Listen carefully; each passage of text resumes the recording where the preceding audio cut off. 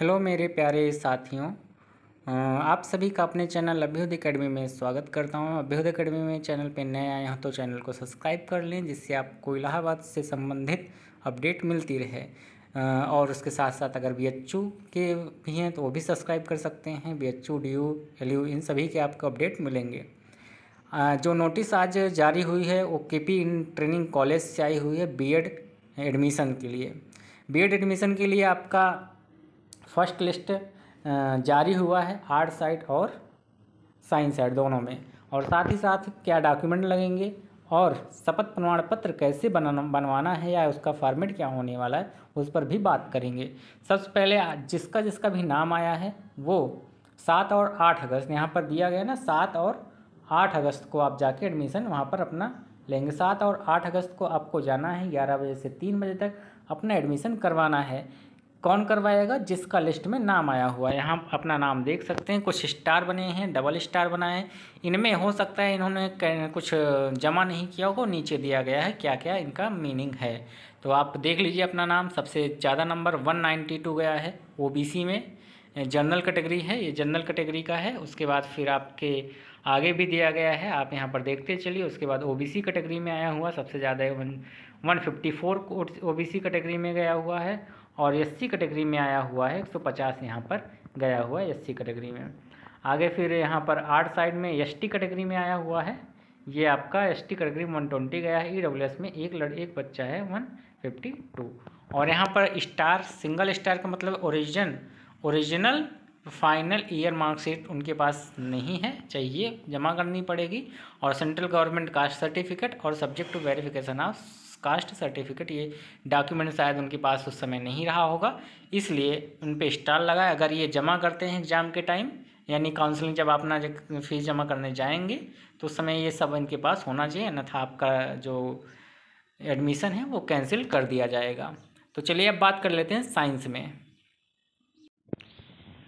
Science में जो बच्चों का हुआ है, वो भी अपना सात और आठ तारीख को ही जाएँगे। यहाँ पर नाम लिखा हुआ है, जनरल में नौ बच्चे हैं ओबीसी में एक सौ अड़सठ गया है साइंस में, उसके बाद ओबीसी में छः बच्चों का हुआ है, वन फिफ्टी टू मार्क्स है इसमें, उसके बाद एससी में वन थर्टी एट है और एसटी में वन हंड्रेड ट्वेंटी सिक्स है। उसके अलावा आपका एक कैटेगरी और ई में एक बच्चे का है। यहाँ पर भी वही चीज़ें लिखी हुई हैं, जिनका नाम है यहाँ पर आप देख सकते हो। उसके अलावा आप बात करते हैं रिक्वायर्ड डॉक्यूमेंट क्या है और शपथ का शपथ प्रमाण पत्र जो बनेगा उसका फॉर्मेट क्या होने वाला है।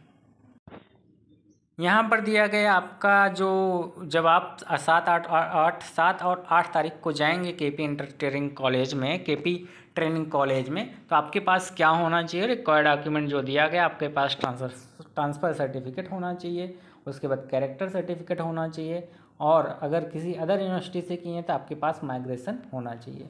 और जो भी स्टाम्प पेपर होना चाहिए notary certificate on stamp paper दस रुपये का बनता है, उसमें आपका बनेगा।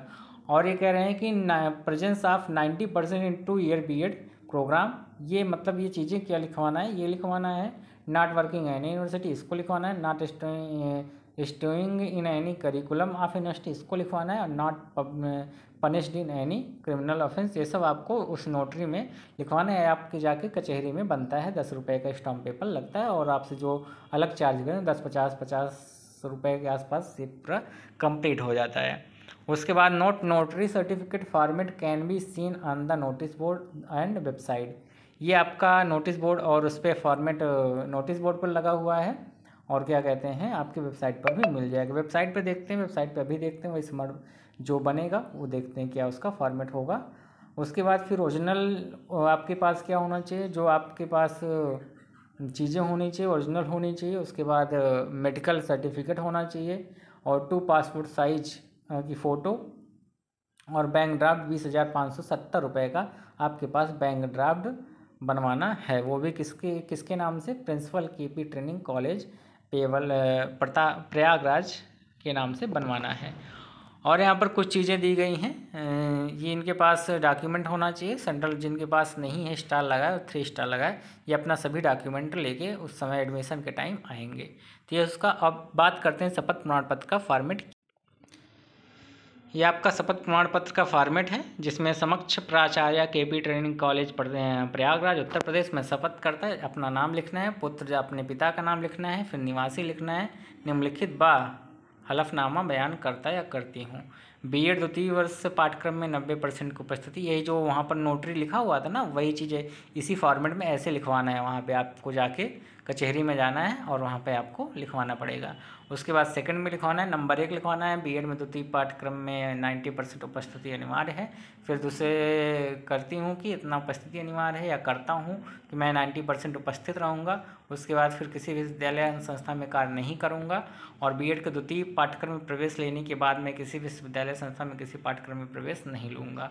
उसके बाद मैं किसी आपराधिक मामले में दंडित नहीं किया गया हूँ, न ही मुझ पर कोई मुकदमा चल रहा है। मैं इस विश्वविद्यालय से आठ वर्ष से, आठ वर्ष से ज़्यादा अध्ययन नहीं किया। मैंने इस विश्वविद्यालय में आठ वर्ष से ज़्यादा अध्ययन नहीं किया है। मैं बयान करता या करती हूँ कि प्रोक्त शपथ प्रमाण पत्र के क्रम में एक से पाँच तक की सूचनाएँ सही व सच हैं।